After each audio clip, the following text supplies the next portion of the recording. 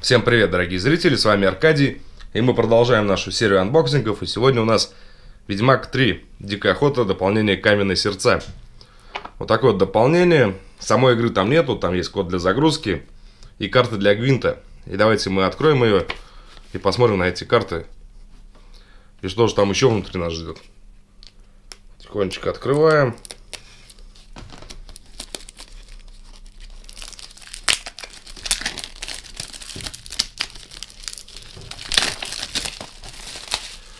Вот она у нас открылась.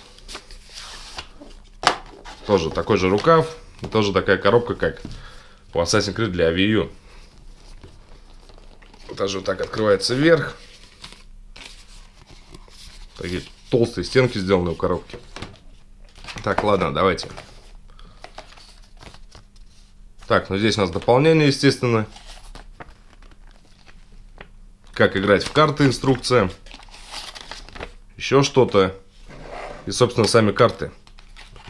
Давайте мы на них посмотрим.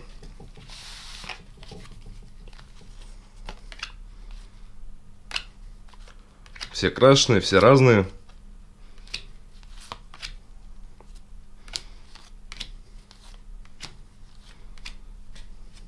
Так, довольно много их здесь.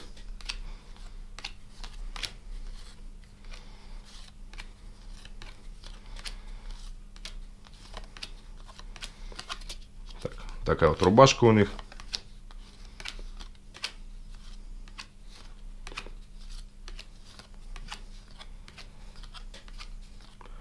Ну да, все их нету смысла показывать здесь. К тому же две стопки. Надо будет установить. Я играл в оригинальную игру. И интересно посмотреть, что же здесь дополнение. И давайте я, наверное, сразу покажу свою оригинальную игру. Многие спрашивают, что у меня такая за коробка большая. Все видели, наверное, именно такую версию игры. Вот она, моя оригинальная игра. Куплена она в DNS, она продавалась только в сети DNS. Внутри у нее есть медальон. Ну, собственно, сама игра в картонном рукаве. Вот такая вот. Здесь куча бумаги. Меня это тоже обрадовало. Здесь спасибо от разработчиков. Бумага, бумага, саундтрек, карта и наклейки. Вот такая вот большая карта. Не знаю, влезет ли она вся в кадр. Сделана она под старую бумагу, что тоже приятно.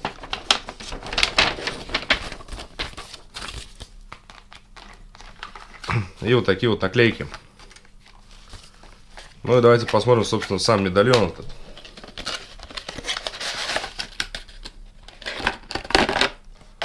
Такой вот металлический медальон. Ну, не медальон, это брелок на ключе, но сделан под медальон. Можно и на шее носить. Ведьмак 3, дикая охота. Такой вот медальончик. Ну, такой это был анбоксинг. Опять же, небольшое видео. Но я и рассчитывал делать эти анбоксинги короткими. Но несколько. Всем спасибо за просмотр. Подписывайтесь на мой канал. Оставляйте комментарии, ставьте лайки. Всем пока.